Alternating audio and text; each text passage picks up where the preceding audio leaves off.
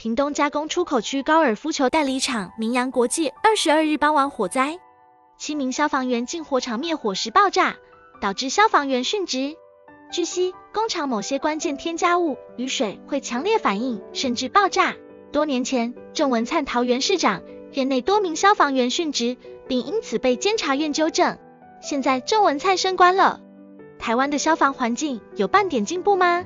我在公视《火神的眼泪》重播时提到了郑文灿市长任内死了十二名消防员的事件，分别是二零一五年一月二十日桃园市新屋保龄球馆火灾。造成六名消防队员殉职。另一件是二零一八年四月二十八日晚间，桃园再度发生平镇金鹏工厂大火，共六名消防队员死亡。由于我家在平镇金鹏工厂附近，事发当天可以看见直彻云霄的浓烟，还闻到燃烧的味道，而且消防队救护车的声音不断，相当恐怖，令人不安。而且以前我经常骑车经过当地的消防队小队。金鹏工厂甚至在我当年工作地点的附近发生了这个火灾，又死了这么多人，特别令我震撼。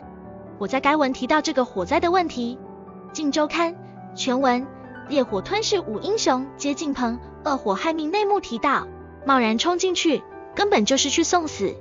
不愿具名的现场消防人员表示，金鹏工厂内存放两千四百公升柴油和大量强酸物质。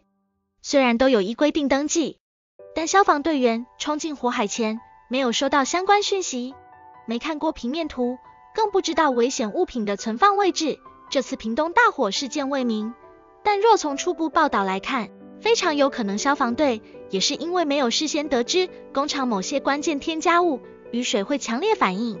以下引述中时相关报道，屏东县消防局长徐梅雪表示。因为现场充斥着大量玩气及天然气，弟兄一涉水就引发大爆炸，完全在一瞬间发生。目前正极力抢救其余受困人员。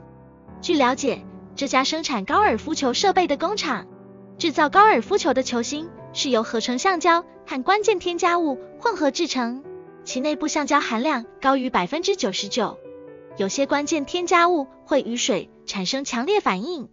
甚至发生爆炸，这次火警才不断传出爆炸。据悉，这起爆炸威力惊人，有消防员进火场抢救时，因遇闪燃爆炸，导致被东西压着而受困。目前已救出二消防员，但有一人呈现 OK 状态，稍早确定不治。另还有四消防员受困中，而目前送医人数有八十亿人。因此，我们质疑。当工厂等特殊工业环境发生火灾时，由于特殊材料与消防水可能发生剧烈反应，工厂方应该立即提供相关讯息。之外，之前做消防检查时，厂方有没有主动提供内有危险物品的资讯、位置图、内部存货货量、位置变动时有没有主动通知？